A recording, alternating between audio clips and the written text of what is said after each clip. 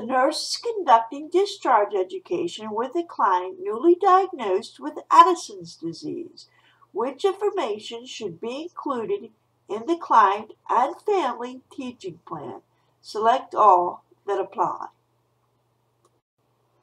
In this question, we do have a diagnosis of Addison's disease. So we will use the diagnosis, write three to five things you know about Addison's disease, and write three to five symptoms of Addison's disease. In order to answer this question, you have to know your core content. What is Addison's disease?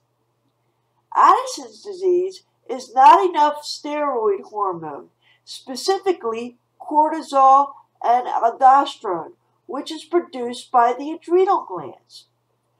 Cortisol helps deal with stress and regulates the body's use of protein, fat, and carbohydrates. It maintains blood pressure and cardio function.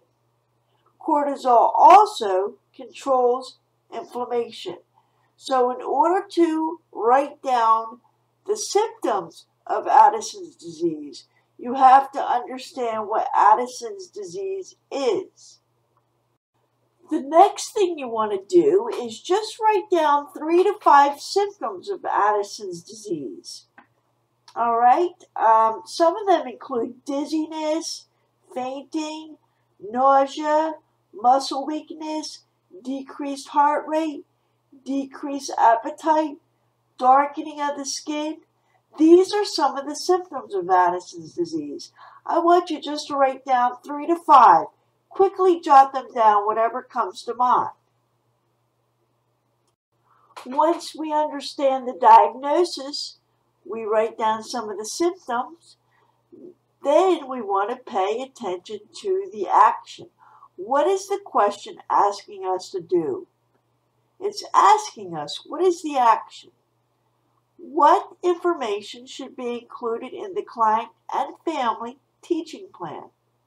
Select all that apply. And the choices are as follows. Addison's disease will resolve over a few weeks requiring no further treatment. Number two, avoiding stress and maintaining a balanced lifestyle will minimize risk for exacerbations.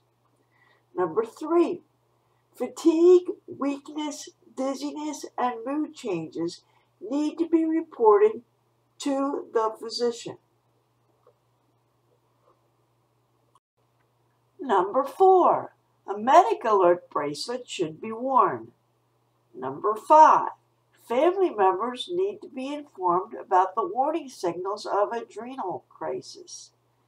Number six, dental work or surgery will require adjustment of daily medications. And the answer is all the above except for one. This is the rationale. The answer is 2, 3, 4, 5, and 6. Addison's disease occurs when the client does not produce enough steroids from the adrenal cortex. Lifetime steroid replacement is needed. The client should be taught lifestyle management techniques to avoid stress and maintain rest periods. A bracelet should be worn and the family should be taught symptoms that would indicate an impending adrenal crisis such as fatigue, weakness, dizziness, or mood changes.